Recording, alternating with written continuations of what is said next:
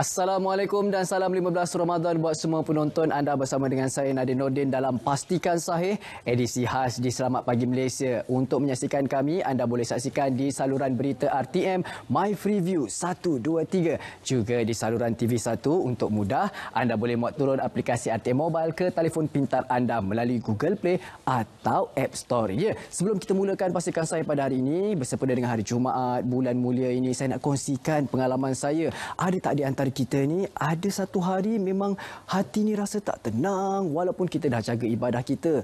Apa kata anda hubungi ibu dan ayah anda? Ah, bagi anda yang masih lagi mempunyai ibu dan ayah, hubungi mereka, dengar suara tu, minta doa. Selalunya dengan doa ibu bapa ni membuatkan hati kita jadi tenang. Dapat dengar suara ibu kita pun lagilah bertambah tenang jadinya kan insyaallah dan bagi mereka yang tidak mempunyai ibu dan bapa lagi jangan risau anda boleh sedekahkan al-fatihah dan juga yasin buat mereka insyaallah Allah lagi sayang kita pelihara kita semua baik dan sekarang ini kita mulakan dengan apa pastinya lah untuk pastikan sahih ni untuk sebarkan berita palsu ni kita nak Uh, tentang habis-habisan. Anda boleh hantarkan sebarang berita yang anda terima untuk mendapatkan kepastian sama ada berita yang anda terima itu benar ataupun tidak. Anda boleh salurkan ke portal sebenarnya.my. Salur kepada kami. Ini dia bila anda klik pada pautan salur kepada kami anda akan dapat isi uh, ini dia kawasan uh, nama, nombor telefon, alamat email, subjek, maklumat dan sila layari pautan sebenarnya .my salur isi maklumat yang dikehendaki klik butang hantar. Tidak pasti, jangan kongsi. Ya, hentikan spekulasi, hapuskan berita tak pasti. Tak pasti, jangan kongsi. Dan ini kita mulakan dengan pemakluman berita palsu oleh pasukan respon pantas uh, pada hari semalam iaitu 7 Mei pada pukul 10 pagi kita besarkan sedikit bagi nampak jelas ya. Uh, ini dia yang pertama Telekom Malaysia Berhad TM menafikan dakwaan bahawa pihaknya menganjurkan program loteri khas keluarga Telekom Malaysia dengan hadiah wang tunai yang memerlukan pemenang menghantar butiran peribadi melalui email. TM mengingatkan orang ramai agar tidak mudah terpengaruh dengan sebarang sedikit penipuan email dan membuat semakan di http uh, bit.ly slash scam alert dash one ataupun anda boleh tengok lagi uh, ini dia pautan-pautan yang boleh anda semak di mana uh, TM telah menjelaskan uh, jangan terpengaruh dengan scammers-scammers email palsu ini. Dan Jabatan Kesihatan Negeri JKN Melaka menafikan pihaknya pernah meminta orang awam yang telah mengunjungi sebuah pasar raya di Masjid Tanah pada 1 dan 2 Mei 2020 untuk menjalani saringan COVID-19. JKN Melaka menasihatkan sesiapa yang ingin mendapatkan maklumat lanjut, anda boleh hubungi CPRC Melaka di talian 06 235 6999 atau 6851 atau anda juga boleh email ke cprcmelaka.moh.gov.my. Hmm, lagi apa lagi yang perlu kita amalkan? Sekarang ini kita kena waspada. Waspada apa yang berlaku sekarang ini. Waspada sedikit penipuan email yang menggunakan nama ahli lembaga pengarah TM. Ini yang kita nak kongsikan secara mendalam. Yang saya baca sebentar tadi untuk maklumat anda, hati-hati dengan sedikit penipuan email yang menggunakan nama ahli lembaga pengarah TM untuk memperdayakan orang awam. Inilah dia scam alert anda boleh semak di laman sesawang yang telah disediakan ini. Bila kita kita nak check kan, macam mana double N boleh check ke? Boleh, kita klik aja. Kita klik aja, kita dapat tengok. Ah, ini dia. Beware of scam emails. Ha, jadi ini akan jelaskan supaya anda tidak akan tertipu dengan scammers-scammers yang tidak bertanggungjawab ini. Dan TM turut berkongsi maklumat langkah-langkah yang perlu diambil untuk memastikan sama ada maklumat yang diterima adalah sah daripada kumpulan TM. Pastikan info yang diterima adalah daripada laman sesawang rasmi kumpulan TM Contohnya tm.com.my slash unify.com.my. Pastikan alamat pengirim email adalah domain rasmi kumpulan TM. Sumber daripada Facebook rasmi kumpulan TM. Dan untuk makluman anda, kalau dapatkan maklumat terkini mengenai uh, perintah kawalan pergerakan bersyarat, anda boleh dapatkan di uh, di saluran yang betul iaitu Kementerian Kesihatan Malaysia dan juga uh, MKN Majlis Keselamatan Negara. Dan ini pula kita ada individu dari zon merah dan pulang dari luar negara ke Perlis saja diwajibkan menjalani kuarantin. Jadi bukannya semua ada yang sebarkan kata Siapa yang masuk Perlis, semua kena makan harum manis. Eh bukan, semuanya kena buat saringan. Amboi, kesian orang-orang harum manis ni kan. Ni penjelasannya kerajaan negeri ingin memaklumkan kenyataan-kenyataan di media sosial seperti yang diterbitkan mengenai arahan yang menyatakan bahawa semua individu yang memasuki Perlis sepanjang Perintah Kawalan Pergerakan Bersyarat PKPB diwajibkan menjalani kuarantin selama 14 hari di pusat kuarantin adalah tidak tepat. Jadi penjelasan penjelasan yang betulnya semua individu dari zon merah dan kes-kes individu yang pulang dari luar negara ke Perlis hendaklah melalui saringan kesihatan dan seterusnya melalui proses kuarantin selama 14 hari. Untuk pergerakan antara negeri, individu diminta untuk jalani saringan kesihatan di klinik kesihatan bagi menentukan risiko jangkitan sebelum diputuskan keperluan untuk kuarantin ataupun tidak. Terang di situ kan. Ya, sebelum ni pun saya dah jelaskan mengenai kawasan di Perlis ini bukan semua bukan semua orang yang masuk-masuk Perlis semua kena jalani saringan tidak tidak benar ya dan ini pula hotel-hotel ini pun saya dah kongsikan sebelum ini. Saya nak jelaskan lagi. Masih lagi ada yang sebar di media sosial ini. Ini yang perlu kita tentang habis-habisan. Hotel-hotel ditutup sementara kerana dalam proses penjualan kepada pihak ketiga. Penjelasannya jadinya bukan sebab COVID-19, sebab nak dijual. Exko Pelancongan Warisan dan Kebudayaan Datuk Muhammad Jailani Khamis berkata, hotel-hotel yang terletak di Bandar Melaka itu bukanlah ditutup kerana kesan ekonomi akibat COVID-19. Namun dalam proses penjualan kepada pihak ketiga yang bermula sebelum COVID-19 mahupun Perintah Kawalan Pergerakan PKP dilaksanakan kerajaan.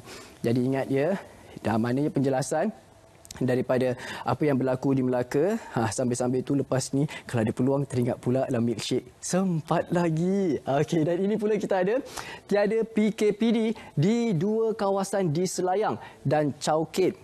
Ini penjelasan lagi ada yang kongsikan video dan juga gambar. PKPD dilaksanakan di dua kawasan di Selayang dan Chowkit. Betul ataupun tidak? Ayuh kita periksa sama-sama. Dua kawasan di Selayang uh, serta Chowkit tidak dikenakan perintah kawalan pergerakan diperketatkan PKPD. Menteri Kanan Keselamatan Datuk Seri Ismail Sabri Yaakob sebaliknya menjelaskan kawalan di kawasan berkenaan diperketat secara pentadbiran. Ulang sekali lagi apa dia? Pentadbiran bukan diperketatkan. Jadi buat masa ini hanya memperketatkan kawalan secara pentadbiran di kawasan terbabit. Mungkin kawal dengan kawat duri dan sebagainya tetapi ia tetap bukan PKPD. Bukan apa? Bukan PKPD. Jadi untuk anda, hentikan spekulasi, hapuskan berita yang tidak pasti. Baik, satu lagi kita ingin kongsikan. Jabatan Kesihatan Negeri Melaka tidak pernah mengeluarkan arahan saringan COVID-19 kepada orang awam yang telah mengunjungi sebuah pasaraya di Masjid Tanah. Oh ini ini berita palsu dia tulis apa? Masjid Tanah pada 1 Mei dan 2 Mei KKM minta membuat saringan COVID-19. Siapa yang pandai-pandai sebarkannya? Letak fire-fire lagi ya. Panas lah tu, cerita panas. Dan menurut kenyataan media Jabatan Kesihatan Negeri Melaka, Jabatan Kesihatan Negeri Melaka ingin merujuk kepada satu mesej tular yang telah disebarkan melalui aplikasi WhatsApp dan media sosial pada 5 Mei 2020 berkenaan hebahan saringan COVID-19 kepada orang awam yang telah mengunjungi sebuah pasaraya di Masjid Tanah ingin menjelaskan bahawa pihak jabatan tidak pernah mengeluarkan arahan saringan tersebut. Bagaimanapun siapa yang pernah terdedah kepada faktor-faktor risiko jangkitan COVID-19 dan mempunyai simptom COVID-19, anda dinasihatkan untuk datang menjalani pemeriksaan di mana-mana fasilitis kesihatan. Itulah dia jelaskan. Aa, ah, jangan tak jelas pula. Kalau tak jelas seperti biasa anda boleh semak. Aa, ah, semak terlebih dahulu untuk memastikan kepastian berita itu benar ataupun tidak. Baik kita berehat seketika. Saya akan kembali lagi selepas ini. Pastikan sahih.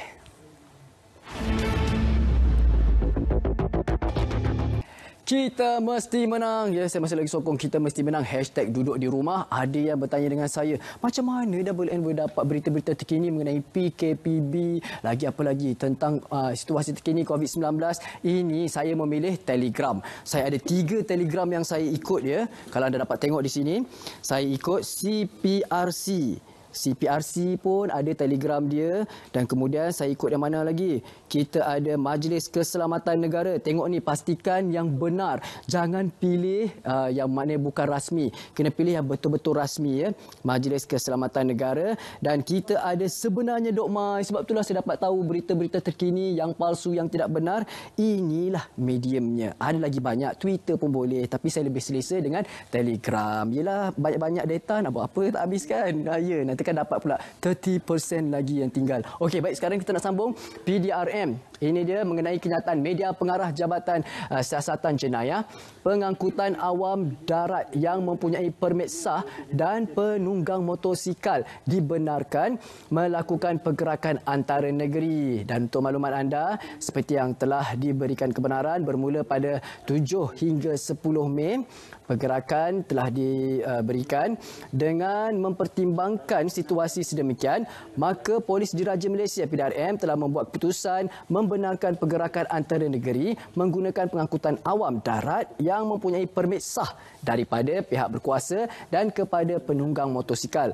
Namun pastinya ada namun adalah diingatkan bahawa orang ramai yang menggunakan kenderaan pengangkutan awam darat atau penunggang motosikal hendaklah mendapatkan kelulusan pergerakan antara negeri. Kita sambung ni sebelah dia. Antara negeri daripada PDRM, PDRM melalui aplikasi Gerak Malaysia atau secara manual dari Balai Polis yang berhampiran. Nak pergi Balai Polis ni pun kena pastikan ada temu janji ya, bukan terus sembrono pergi ramai-ramai. Okey dan kemudian ini dia pergerakan adalah mengikut jadual yang ditetapkan oleh PDRM iaitu tarikh 7 Mei Kuala Lumpur 8 Mei dari Perak, Johor dan Kelantan, 9 Mei dari Perlis, Kedah, Pulau Pinang, Melaka dan Pahang dan 10 Mei 2020 adalah dari Selangor, Negeri Sembilan dan Terengganu. PDRM sekali lagi ingin mengingatkan orang ramai agar sentiasa menjaga keselamatan diri serta mengamalkan penjarakan sosial sepanjang masa. Ingat tu, social distance kena sentiasa jaga. Dan tadi pun Hani dan juga Munawar dah kongsikan di awal rancangan Selamat Pagi Malaysia SOP-SOP yang yang perlu kita kena sentiasa ingat. Baik, ini dia. Kita ada perintah kawalan pergerakan bersyarat PKPB. Ah, ini dia aplikasi Gerak Malaysia. Pastikan anda dah muat turun untuk kemas kini mulai 7 Mei hingga 10 Mei 2020, orang ramai yang terkandas boleh membuat perjalanan merentas negeri untuk kembali ke kediaman masing-masing. Dan jadual tadi pun saya dah kongsikan, pergerakan pelajar sebelum ini pun Alhamdulillah selamat semuanya. 2,897 pelajar institusi pengajian tinggi IPT, IPTA dan juga IPTS dihantar pulang ke kampung halaman masing-masing. 8 penerbangan telah dijadualkan untuk menghantar pulang 2,200 97 pelajar dan melibatkan uh, inilah dia melibatkan satu penerbangan, dua penerbangan, dua penerbangan dari KLIA ke KIA dan juga penerbangan dari KIA ke KLIA. Inilah dia perkongsian dapat saya kongsikan. Banyak lagi sebenarnya. Banyak lagi akan kami sampaikan. Kalau nak saksikan pastikan sahih pada pukul 6.30 minit petang bersama dengan rakan setugas yang lain. Ingat, anda boleh saksikan di saluran berita RTM My Free View 123 dan juga di saluran TV1. Nak mudah, mudah saja.